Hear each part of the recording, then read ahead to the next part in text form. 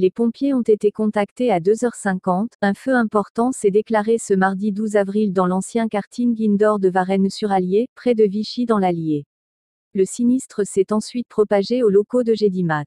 Au total, ce sont deux toitures de 1500 mètres carrés chacune, qui sont parties en fumée et effondrées, comme en témoignent ces photos captées par les pompiers. Pas moins de 75 pompiers ont été mobilisés, venus des casernes de Vichy, Varennes-sur-Allier, Saint-Pourçain-sur-Sioule, Saint-Gérand-le-Puy, Moulins, Neuilly-le-Réal, Moulins, La Palisse, Jaligny, Ghana, Boyer, Dompierre-sur-Bèvre, Ygrande et Bessé-sur-Allier.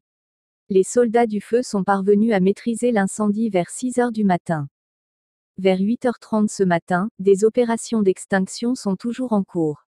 Un bâtiment d'habitation a été évacué à proximité et le Lidl voisin a été sécurisé.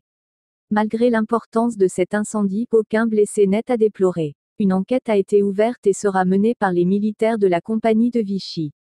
La gendarmerie indique qu'aucune piste n'est, pour l'heure, privilégiée. Un autre incendie s'est déclaré dans une usine à quelques kilomètres de là, ce mardi matin.